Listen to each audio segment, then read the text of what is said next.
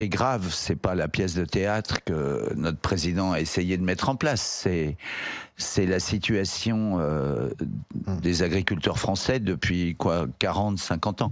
C'est un monde que je connais assez bien parce que tout hmm, pas mon père, mon père n'était pas évidemment agriculteur ni paysan, mais mon grand-père oui. Euh, mes deux grands-pères euh, du côté de mon père et du côté de ma mère.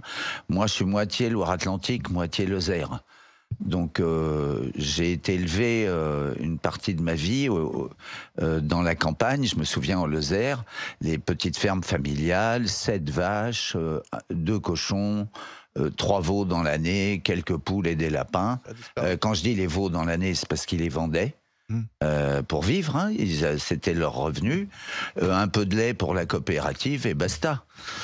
Euh, ça fait quand même 50 ans qu'on les laisse dans la déshérence, ces gens.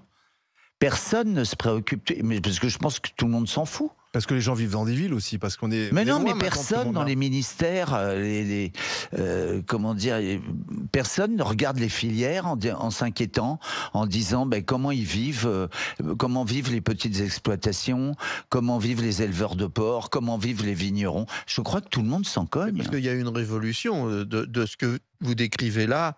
Euh, c'est une, justement une agriculture qui a totalement disparu. Mais c'est honteux, c'est honteux. C'est honteux, mais c'est dû effectivement à, ce système qui s'est mis en place. Non, c'est pas les systèmes, c'est le, une volonté, un, un je m'en foutisme organisé. Vous pensez que c'est politique? Mais évidemment que c'est politique, enfin. Le fait de faire disparaître des petites exploitations et de les remplacer par des grandes. Mais je nomme, de toute façon, le nombre d'agriculteurs ne je nomme, La seule chose qui pilote le monde en dehors du sexe, c'est l'argent. Hein.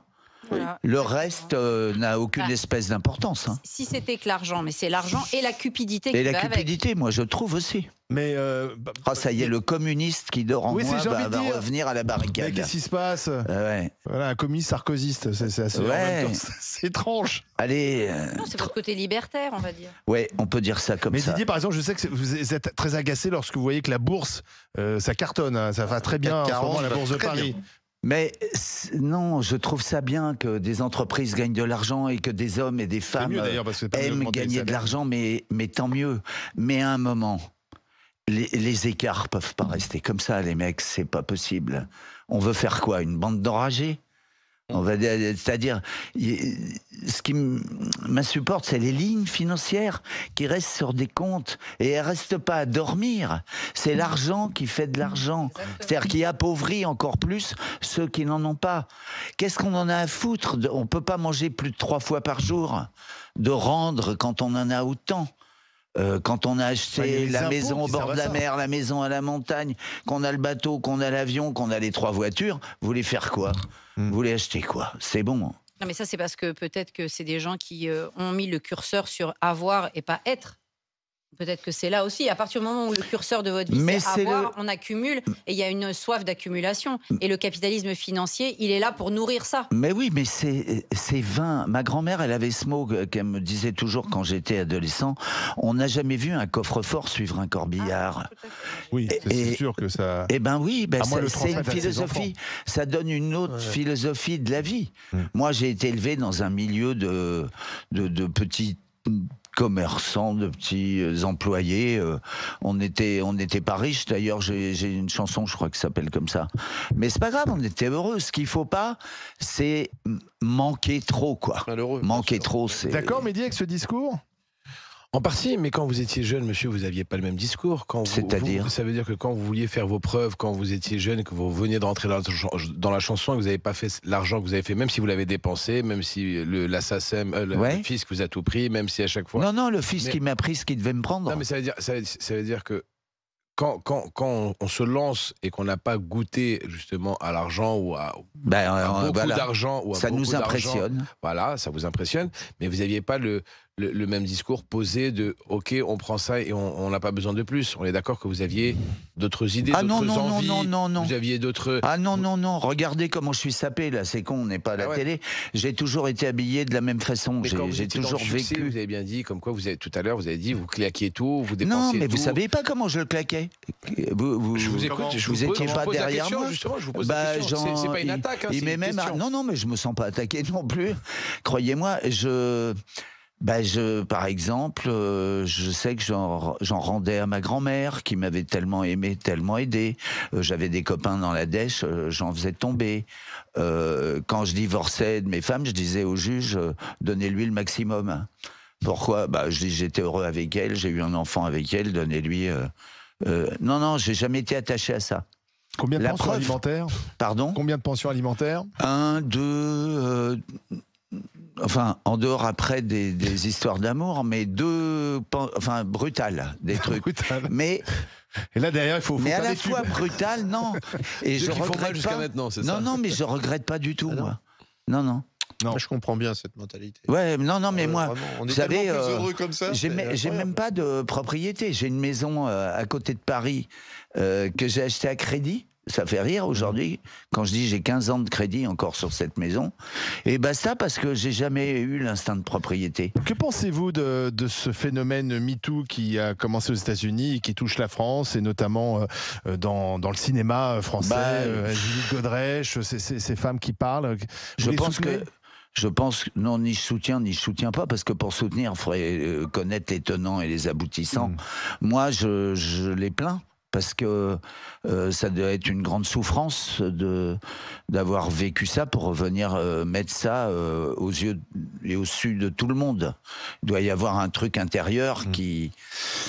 J'écoutais sur une chaîne amie et concurrente de la vôtre quelqu'un qui expliquait l'emprise. Mmh. Et l'emprise, ça doit être raide. Moi, je me suis toujours senti anarchiste, alors c'était difficile de, de, me foutre une emprise à quelque niveau que ce soit. Euh, j'ai pas de patron, j'ai pas fait l'armée, j'ai pas fait, pas fait ça. Vous auriez pu avoir un Pygmalion. les artistes, ils ont souvent des Pygmalions ouais, de dépendance. Non, mais j'étais trop libertaire, j'étais trop. Et vous-même, euh, vous n'avez pas euh, exercé de l'emprise sur quelqu'un jamais? Mais non, parce que, comment dire, dans les rapports amoureux, ce qui est bien, c'est quand c'est partagé.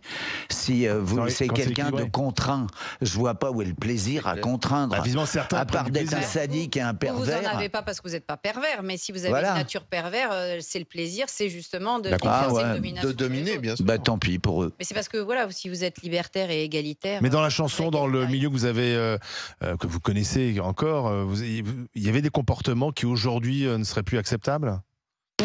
Non J'en sais rien. J'ai jamais fait euh, attention à ça, c'est-à-dire il aurait fallu. parce que euh, les, artistes et chanteurs sont des idoles et donc attirent aussi mm. euh, beaucoup de femmes autour d'eux. C'est plutôt la réussite de jeunes chanteuses. Ouais. pareil, effectivement, des jeunes chanteuses. Des jeunes chanteuses qui auraient accepté. Moi, quand j'ai produit Patricia Cass, on avait des rapports strictement. C'était jeune, elle avait quel âge? Professionnel. Quand j'ai produit Cass avec François, que j'en avais 30. Euh, c'était 86, je suis né en 54, ouais, j'avais 32, 33 ans. Et elle, elle avait quel âge? Elle avait toute jeune, elle, avait 18 Non, elle avait 20, ans, 21 ans, je sais pas. Ouais. Et on, on était protégé à 20 ans quand on se lançait dans la chanson, on n'était pas à la merci de. Non? On n'avait pas cet état d'esprit, euh, ni François Bernem, ni moi. Donc, euh, ben, les autres, euh, ils font ce qu'ils veulent. on n'est pas là à surveiller tout le monde. On n'est pas les flics Parce que de après, la on Dit, oui, mais tout le monde savait et personne n'a rien dit. Ça, c'est le monde peut-être du, du, cinéma. Moi, j'ai pas de trucs de souvenirs de, de, choses scandaleuses dans. Il n'y aura pas un MeToo de la chanson française je sais rien. Franchement, je suis incapable de répondre à cette question. J'ai pas été. Euh, Dieu sait que j'en ai connu, pourtant des chanteuses. Il m'est arrivé même d'avoir une love story avec deux ou ah, trois. Alors lesquelles? Mais euh, non, non, ça vous regarde pas. Mais euh, bah si, ça y est, maintenant. Oh, bah, non, non, non, ça vous regarde pas. Non, d'abord vous en souvenez pas. Vous vous en souviendriez pas parce que c'était pas les plus célèbres. Mais c'est des chanteuses pour qui vous avez écrit? Ouais, mais ça pouvait.